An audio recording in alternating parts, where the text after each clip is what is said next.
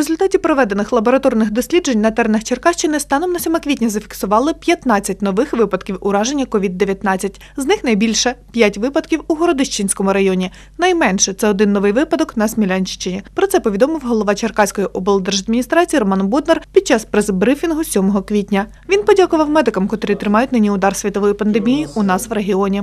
Була раптова перевірка з НСЗУ. Не заплановано, ми не знали про це. Вони е, об'їхали декілька районних лікарень, е, перевіряли залишки засобів індивідуального захисту, що найбільш важливе питання. є. Е, Дуже позитивно відгукнулося про систему, яка налагоджена в Черкаській інфекційній лікарні. Сказали, що Черкаська інфекційна лікарня, по тим даним, які в них є, одна з кращих по системі організації роботи, одна з кращих в Україні. Ще раз хочу подякувати і головному лікарю, пані Вогні, і всім лікарям, і медперсоналу. Знаю, що вам не важко зараз. Знаю, що е, і фізичне, і психологічне величезне навантаження.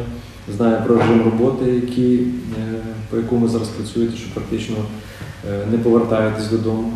Тому будемо вас всіляко підтримувати і морально, і матеріально. Також очільник Черкащини зауважив, що цього року люди зможуть купити паски, попередньо освячені священнослужителями на виробництвах, аби не йти на Великдень до церкви, що дасть змогу убезпечити населення від поширення підступного і вкрай небезпечного вірусу. Е, Ми зараз організовуємо спі- спільно з представниками різних е, конфесій, е, релігійних течій, сприяємо їм в тому, щоб вони посвятили Пасхи прямо на заводах, виробниках. Це буде записано на відео в онлайн.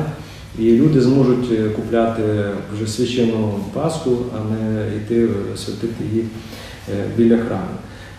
Знаю, що е, в невеличких населених пунктах, де це можливо, то священники організовують такий механізм, коли вони проїжджають прямо по вулиці, і люди, зберігаючи е, дистанцію санітарну, там півтора метра, а то й більше, е, люди якось е, будуть там е, виходити і, святити ті Пасхи. Значить, будь-які заходи релігійні, культурні е, чи там е, пов'язані з зібранням людей, вони всі підпадають під обмеження, введені е, карантину, введені відповідними постановами Кабміну.